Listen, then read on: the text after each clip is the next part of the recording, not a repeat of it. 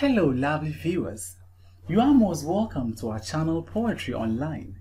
In this lesson, we shall be discussing essay writing.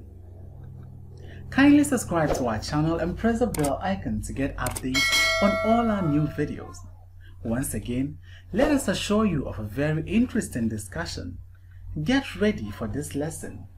By the end of chapter 1, you will be able to list the four writing modes, distinguish the four writing modes, use the features and skills involved in each writing mode, write fluently about each writing mode.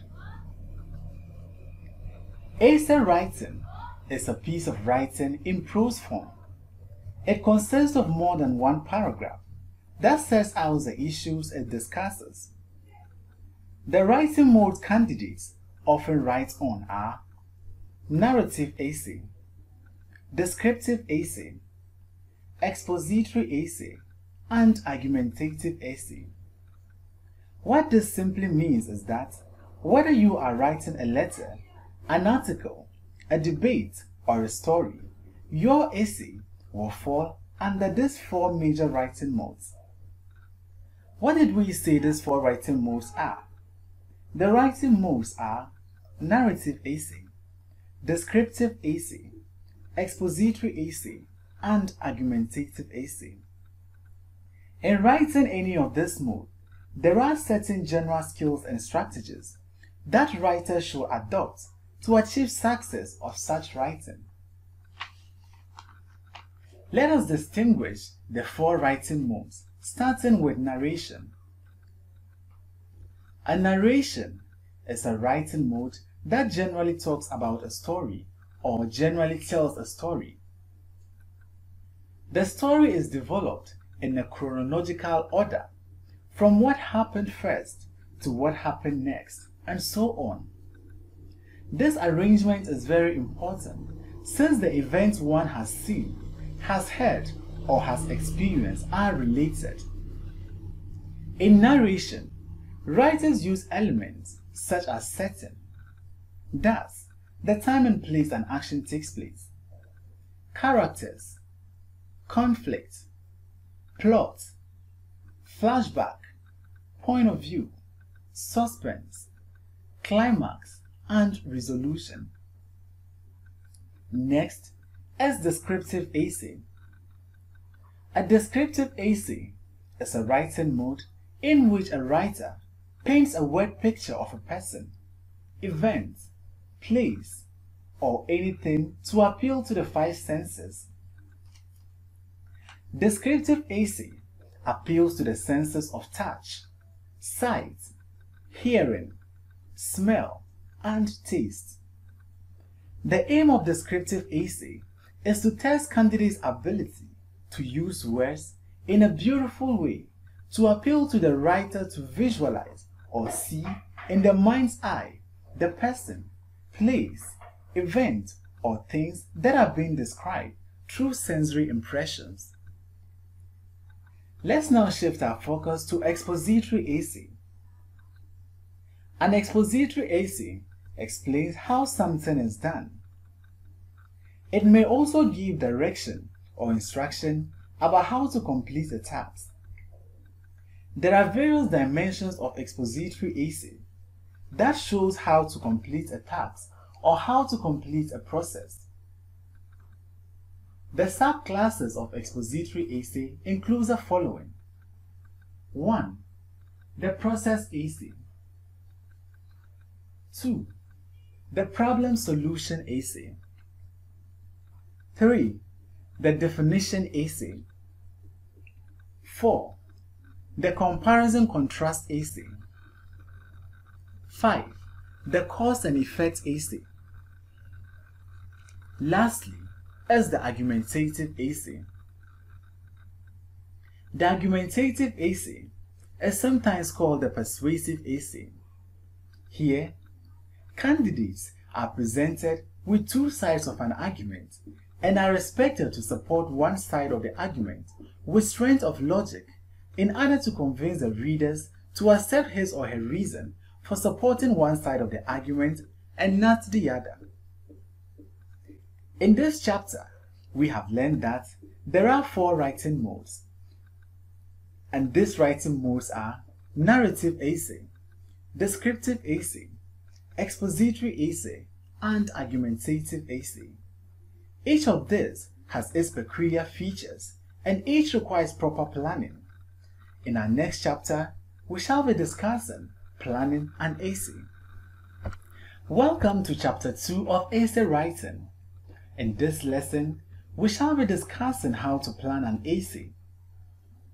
By the end of chapter 2, you will be able to structure your ideas to improve your essay writing skills. Plan effectively before you start writing any essay. Planning an essay is very essential in essay writing, but the simple question is, how do you plan an essay? Most candidates claim that they simply do not have enough time to plan an essay in exams for about 5 to 10 minutes. Yet, if you observe them closely during examination, it is clear that they still have to plan. Candidates who attempt an essay without planning will either forget their main point after the first paragraph or stop to think again before they proceed. In the end, they will end up planning an essay, but in the worst possible way, and spending more time than they would have done if they had planned the essay in the beginning. Therefore, planning an essay is the first step to a successful essay writing. Here are some of the few guidelines to give you a clear picture of how to plan a standard essay in examination. 1. Understanding. In this first step, you have to understand the topic or think about it carefully to know what the topic demands of you and the features that are involved in that particular kind of question. 2. Gathering. Here, you have to gather main ideas that come to your mind for the essay. Jot down in rough phrases every idea that comes to your mind about the topic you are about to write on. Explore ideas that pop into your head and put them down. 3. Organization. Organize your ideas in a chronological order to be sequentially developed in paragraphs later. 4. Prepare a scratch outline. After making a logical arrangement of the ideas, prepare a scratch outline of each main idea for effective development into the introductory and supporting paragraph. Make sure the introductory paragraph contains the thesis statement around which the whole essay revolves. You can now write about the essay using the ideas you have organized in the scratch outline. In our next chapter, we shall be discussing how to introduce your essay. Welcome to chapter 3 of essay writing. By the end of this lesson, you will be able to introduce your essay to the admiration of the reader, provide the background information needed for readers to understand the essay. The introduction is made up of the opening sentence, general statement, and teaser statements. The purpose of the introduction is to brief the readers on what the writer has to say. It gives readers the pulse of the essay. If the introduction is not interesting, then the reader may not be interested in reading the rest of the essay.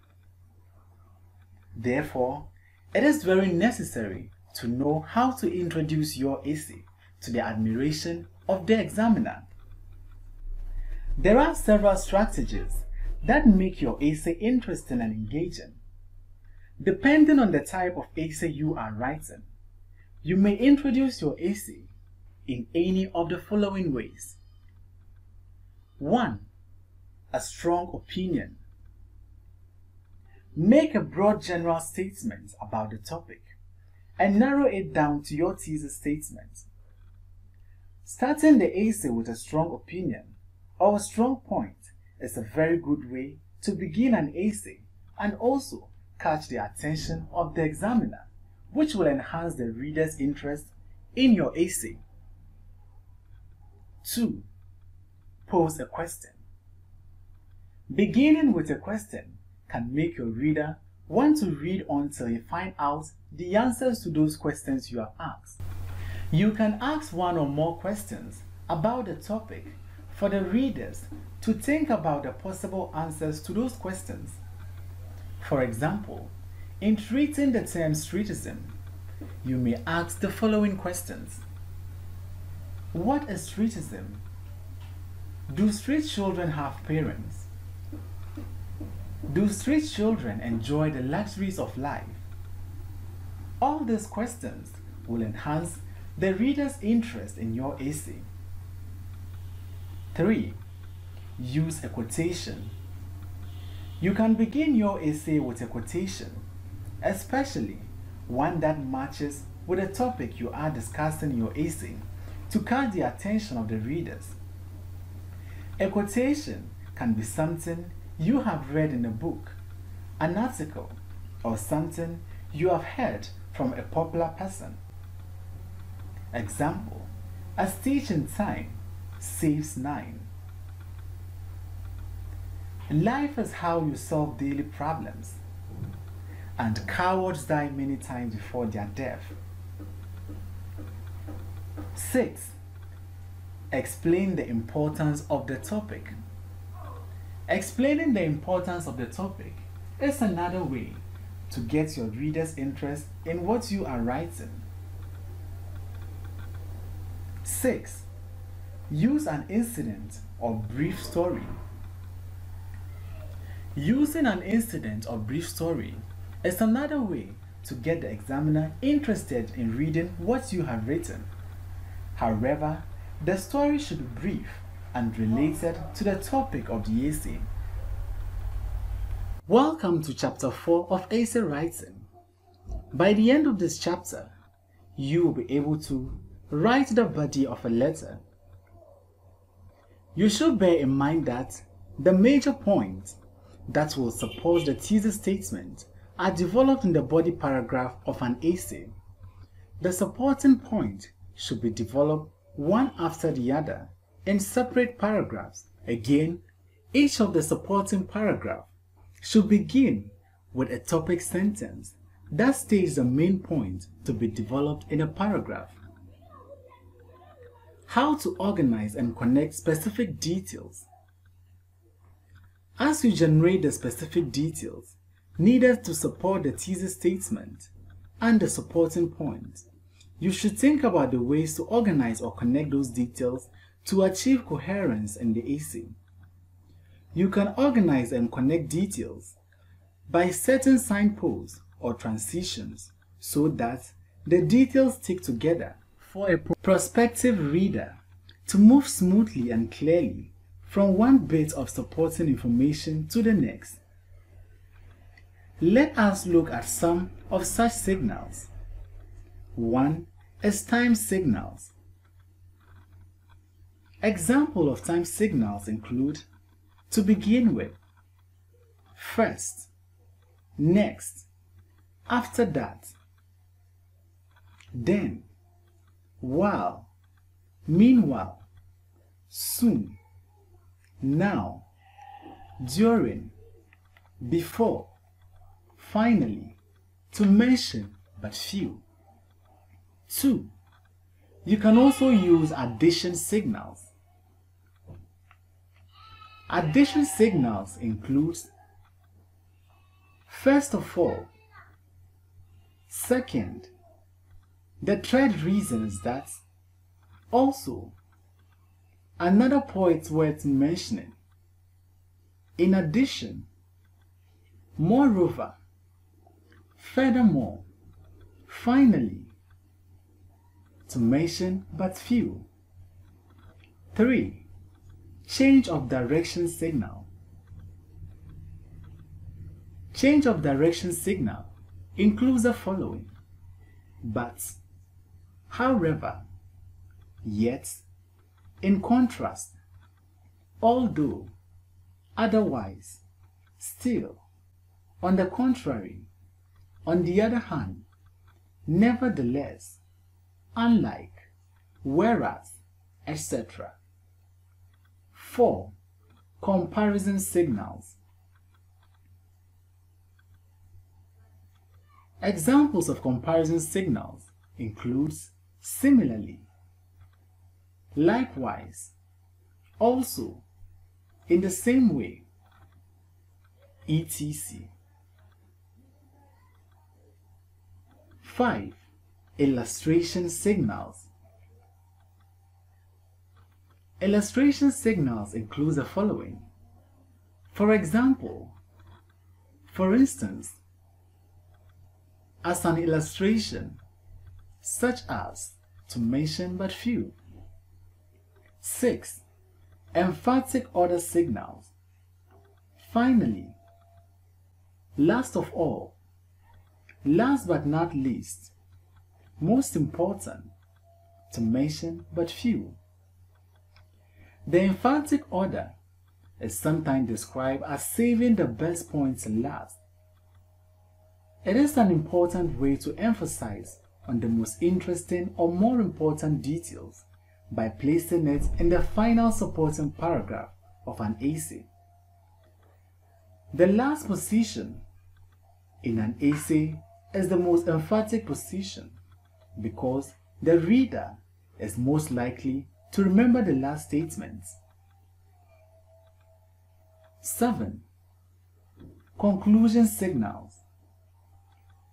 Last of all, consequently, then, as a result, in summary, to conclude, finally, to sum up, in brief, as a whole, in short, in conclusion.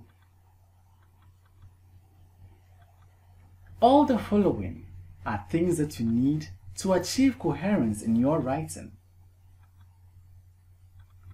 Now, let's talk about how to achieve unity in your essay. To achieve unity in your essay, you should discuss only one supporting point or idea. The supporting point should be expressed in a topic sentence and well developed by providing specific details. There should not be any irrelevant details in the main idea. Each supporting point must support the workable thesis to achieve unity. Welcome to chapter 5 of essay writing.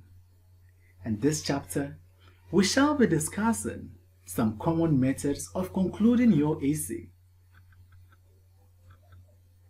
In any essay, there should be a conclusion.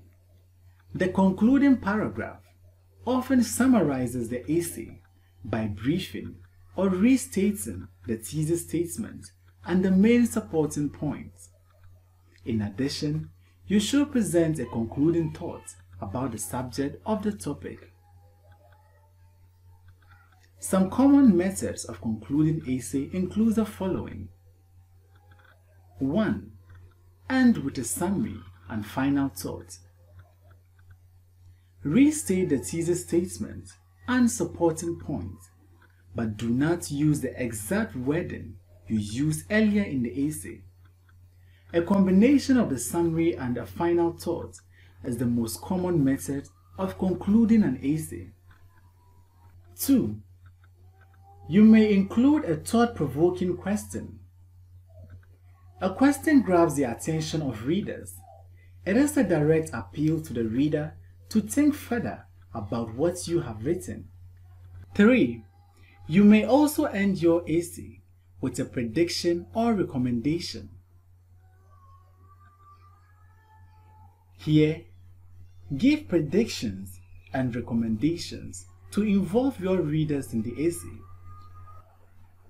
A prediction states what may happen in the future, whilst a recommendation suggests what should be done about a situation or problem. Sentence skills. In writing an essay, you should make sure that your sentences flow smoothly and clearly. You should therefore edit your essay so that your sentences are free from error.